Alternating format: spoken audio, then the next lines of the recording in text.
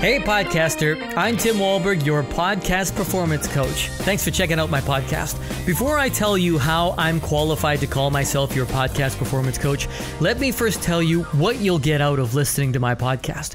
I believe you're here for one reason, and that's to have a better sounding podcast. You probably want to sound more like a pro and gain more podcast fans. I want to help you achieve that.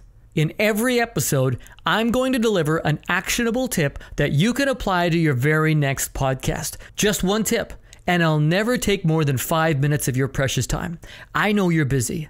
Some of my tips may be technical, some may reveal how to get more from a guest, but mostly I'm focused on your performance, how you are as a host. Ultimately, your performance will determine how you engage your guest and how you connect with your listener. For most podcast hosts, your goal is to inform, entertain, and engage. Do these three things well, and you'll create loyal and passionate fans who will want to share your message, and that ultimately is how to grow your show. Why should you take my advice? I've been in the radio broadcast industry for almost 25 years, mostly in talk radio. I'm a host, an award winning producer, and have developed and directed top talent. And I've spent years as an instructor at Broadcast College. I know and can teach you what the pros do the tools, the tricks, and the secrets they use to make great content. So, why should that matter to you as a podcaster? Because in both worlds, the listener rules. I started listening to podcasts years ago when the audience was much more forgiving. It was a new medium back then, and people got used to bad quality and rambling presenters. But things have changed. Today's podcast listener expects more. A lot more. The fact that there are so many podcasts competing for listeners means you have to be great if you want to succeed.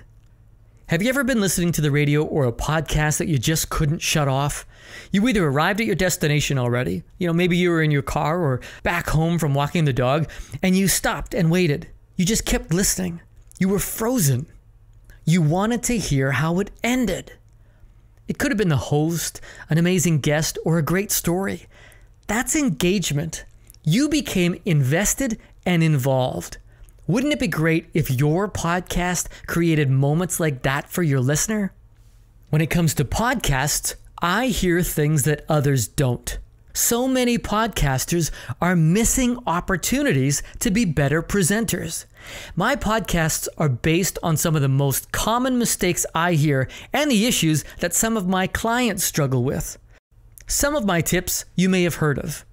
They're simple and easy to apply, kind of like no brainers. Sometimes you just got to know the basics.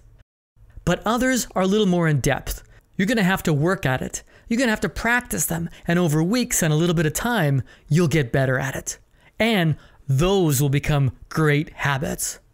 By applying my tips, you'll sound more like a pro and gain more podcast fans. Subscribe to this podcast now, and let's start making your podcast better each time you hit record. You can learn a little bit more about me and my podcast performance coaching services by visiting podcastperformancecoach.com. Thanks for checking out my podcast. I look forward to sharing more of my experience with you and hopefully working with you in the near future. I'm Tim Wohlberg. See ya!